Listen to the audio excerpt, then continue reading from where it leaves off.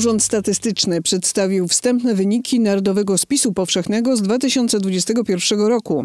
Spośród osób, które wskazały identyfikację inną niż Polska, najwięcej prawie 586 tysięcy było Ślązaków. Na kolejnych miejscach znalazły się identyfikacja kaszubska i niemiecka. Według politologów wyniki spisu nie są zaskoczeniem, zaś mniejsza niż w poprzednim spisie liczba deklarujących się jako Ślązacy w 2011 było to ponad 846 tysięcy. Wynika przede wszystkim z internetowego charakteru spisu i trudności technicznych, jakie wiązały się z odnalezieniem narodowości śląskiej w formularzu. Trzeba było wykazać się dość dużą wiedzą, w jaki sposób przejść przez system. Wstępne wyniki spisu dotyczące narodowości wskazują na utrzymujące się poczucie odrębności etnicznej społeczności regionalnych w Polsce. W spisie z 2021, podobnie jak w poprzednim, obok pytania o przynależność narodowo-etniczną, zadawano pytanie o język używany w kontaktach domowych. Około 458 tysięcy ludzi zadeklarowało, że posługuje się językiem śląskim. Słupy trakcyjne zamiast drzew. Duże kontrowersje wywołała informacja o tym, że przy okazji tramwajowej inwestycji trzeba będzie wyciąć około 30 drzew na ulicy Piekarskiej w Bytomiu. Proszę sobie teraz wyobrazić tak długi odcinek ulicy bez ani jednego dużego, rosłego drzewa, które zacienia, e, jakby daje cień i ochłodę w e, słoneczne, upalne dni. Dzisiaj Piekarska, znana ze swojej linii tramwajowej, to plac budowy. Niektórzy uważają, że właśnie w trakcie tych prac drzewa ucierpiały. Pytanie, czy wykonawca, firma Eurowia, zrobił wszystko, co w ich mocy, żeby zabezpieczyć te drzewa? Wydaje nam się, będąc tutaj na placu budowy, że nie. Bryły korzeniowe są uszkodzone i może być za chwilę za późno. Miasto wyjaśnia, że od dawna było wiadomo, że wycinka jest konieczna, a dopiero teraz Urząd Marszałkowski wydał na to zgodę. Dendrolodzy, certyfikowani inspektorzy drzewa sprawdzili nam stan tych drzew. No i niestety z tej ekspertyzy wyszło, że na 35 drzew e, poddanych badaniom 29 jest w bardzo złym stanie i nie rokuje dalszego wzrostu e, w ramach prowadzonej inwestycji i po przeprowadzeniu tej inwestycji. W związku z tym nadaje się do wycinki, ponieważ jest w różnym e, stopniu, w różnym stopniu procesu zamierania. Te ekspertyzy były przeprowadzone z użyciem specjalistycznego tomografu, dzięki któremu można zobaczyć co drzewo ma w środku. Na obrazku ten niebieski, fioletowy fragment pokazuje element e, przegniły. Miasto zapewnia, że zrekompensuje wycinkę nowymi nasadzeniami. Ma się pojawić 49 drzew. Mieszkańcy mają jednak wątpliwości, czy nowe nasadzenia są odpowiednio pielęgnowane. Dobre wytną, posadzą nowe drzewa. Nikt o te drzewa nie dba, bo za granicą to drzewa są i obudowane, i podlewane, proszę pana. A u nas nie i potem te drzewa sobie schną. Te słowa potwierdza ekspert. Miasta nie dbają najczęściej o ważną część miejskiej tkanki, jaką jest zieleń. W standardzie powinno być, a niestety nie jest w większości śląskich miast, utrzymanie bardzo pieczołowite tych nasadzonych drzew przez cały czas przez ustawowe 3 lata od nasadzenia, a nie wracanie do tematu po trzech latach i sprawdzanie, czy coś się nie, nie wydarzyło. Wiadomo już, że odwrotu od wycinki nie ma. Wykonawca zacznie ciąć na ulicy Piekarskiej w najbliższych dniach. Co prawda drzew ma być później więcej, ale za to będą na pewno dużo mniejsze. To połowa pływackiej kadry Polski z zespołem Downa. W czerwcu zawodnicy powalczą o medale w Mistrzostwach Świata, które odbędą się we Francji. Cel już jest znany. Młota. To wysoko mierzysz. Tak. A biorąc pod uwagę sukcesy z ostatnich dni, wszystko jest możliwe. Na przełomie marca i kwietnia zawodnicy reprezentujący fundację Sony zdobyli 9 medali podczas Mistrzostw Polski. Krakowie e, dzia, dzia, dzia, dzia, działałem misję e, klauny na, na 50. We Francji będzie jednak trudniej, ale mimo, że będzie to impreza najwyższej rangi, tremy przed startem raczej nie mają. No chyba nie, ale no to zobaczymy jak będzie. I jaki medal byś chciał zdobyć? Na pewno w piesle, piesle albo drugie. Ale gdyby brąz się udało, to też pewnie zadowolony będziesz. Tak. I z podobnym nastawieniem pojadą pozostali pływacy. Na razie jednak przygotowują się do mistrzostw Gliwickiej Pływalni Olimpijczyk. Zaczynamy teraz 7-tygodniowy trening, e, okres przygotowawczy. E, Treningi właśnie będą 5 razy w tygodniu. E, W maju wybieramy się jeszcze na zgrupowanie, gdzie będziemy trenować e, dwa razy w tygodniu. Właśnie wybieramy się do Gdyni. Rywalizacja sportowa oczywiście jest ważna dla pływaków, podobnie jak zdobyte medale na ich szyjach. Dla rodziców ten sport ma jednak nieco szerszy wymiar. Przede wszystkim właśnie możliwość rozwoju fizycznego to jest główny cel, ale przede wszystkim rozwój społeczny, kontakty właśnie z grupą swoich y, mm, znajomych, swoich kolegów, y, zarówno y, tutaj na codziennych treningach, jak na zawodach, jak się spotykają. Bo dla wielu zawodników z zespołem Downa każdy trening jest niemal jak święto. Skrupulatnie się do niego przygotowują. Był taki okres w życiu Szymka, że jak na przykład nie było treningu, to mówi tak, "E, dlaczego pan Bartek nie ma treningu, dlaczego on odwołał, mówi o co chodzi, mówi zadzwoń do niego, trening musi być, nie? Także nie, no e, Szymon wie, że w danym dniu jest trening i no i jest, no i trzeba iść i dać siebie wszystko. I dają, ale pływakami nie stali się z dnia na dzień. Na swoje medale długo i ciężko pracowali. Za, zachęcił mnie rodzice i trenerzy, I dlaczego zacząłeś pływać?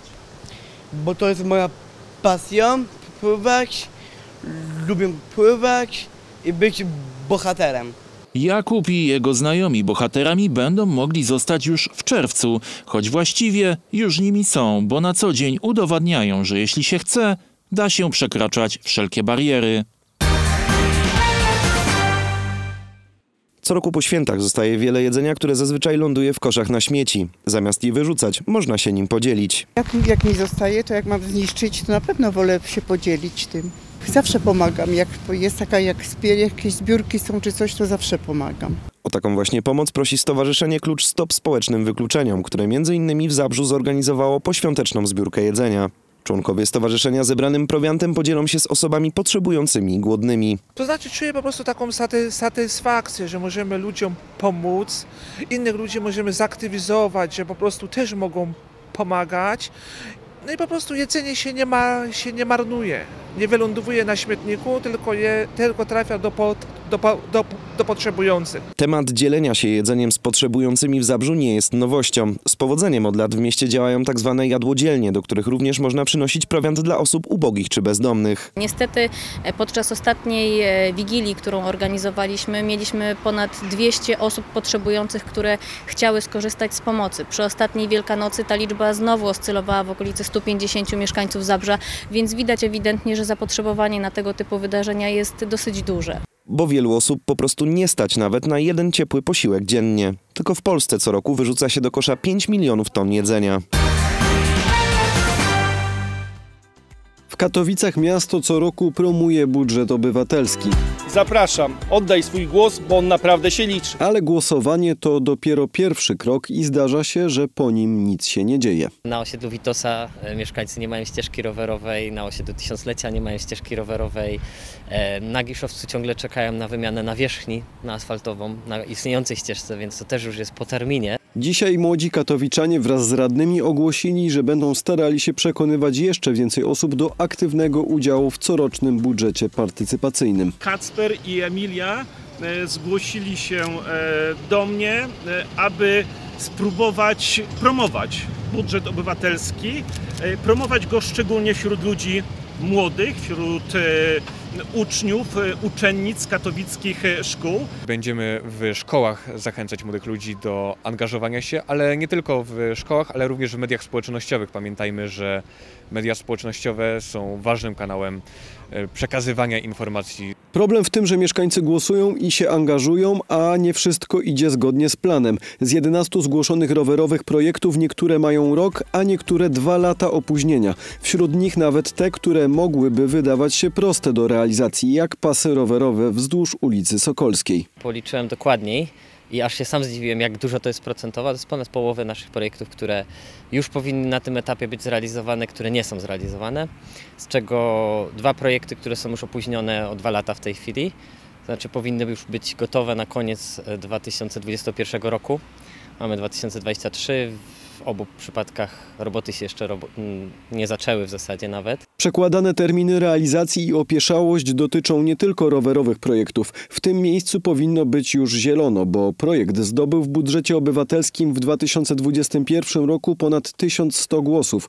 Nawet jak wydaje się, że jest już blisko realizacji, ustaliliśmy wszystko, co ma być, jakie nasadzenia, gdzie. Okazuje się, że jest dalej niż bliżej. Nie jest to tak bardzo skomplikowany projekt. To jest nasadzenie drzew, to są nasadzenia krzewów, odbrukowanie chodnika, czyli wszystko, co jest w trendach obecnie w miastach, ale rok trwają uzgodnienia i jesteśmy w punkcie wyjścia. Jak wynika z informacji Urzędu Miasta, tylko w zeszłym roku przełożono realizację 23 pomysłów mieszkańców. Często jest tak, że to nawet nie wynika z samego tego procesu procedowania danego projektu w urzędzie, ale jesteśmy przecież zobligowani do tego, aby wszystko przebiegało zgodnie z procedurami, z zamówieniami publicznymi. W związku z tym zdarzają się przypadki, kiedy ciężko jest znaleźć wykonawcę danego zadania, kiedy okazuje się, że pomimo tego, że staramy się doszacowywać te kwoty, które pojawiają się w wytycznych, to one wciąż są za niskie.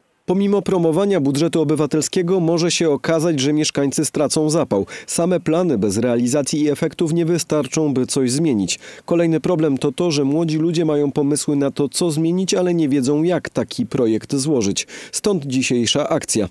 Na razie lepiej niż młodzież wypada na przykład grupa 55+. Jest jeszcze kilkanaście dni na złożenie projektów w tegorocznej edycji budżetu obywatelskiego w Katowicach. Marek Piekarczyk wraz z przyjaciółmi wystąpi podczas koncertu charytatywnego na rzecz Hospicjum Cordis w Katowicach. Sam to zaproponował, przyjedzie z przyjaciółmi w dosyć nietypowej formie, bo znamy go jako legendę grupy TSA, a tym razem wystąpi w takiej wersji ze smyczkami. Myślę, że to będzie piękny wieczór i wiem na pewno, że ci wszyscy, którzy przybędą, e, przeżyją wyjątkowe chwile. Koncert odbędzie się 14 kwietnia o godzinie 18 w Teatrze Śląskim. Pieniądze z biletów cegiełek, które kupią mieszkańcy, zostaną przekazane na bieżącą działalność hospicjum, bo to, podobnie jak inne takie placówki w kraju, nie ma zbyt wielu źródeł utrzymania. To głównie 1,5% podatku, darczyńcy i wydarzenia charytatywne te kłopoty się nie kończą. I to jest właściwie walka y, z miesiąca na miesiąc o to, żeby opłacić ZUS, Izbę Skarbową, żeby zapłacić za leki, żeby zapłacić w końcu ludziom za ciężką pracę. Y, to jest właściwie sytuacja nie do wytrzymania, ale ponieważ my pracujemy na pierwszej linii frontu, gdzie życie i śmierć się przeplatają, więc pewnie dlatego istniejemy dalej, bo jesteśmy przyzwyczajeni do takiej ciężkiej, mozolnej pracy zbierania środków finansowych na wszystko. Bilety cegiełki można kupić w cenie 100 zł w kasach Teatru Śląskiego albo przez internet.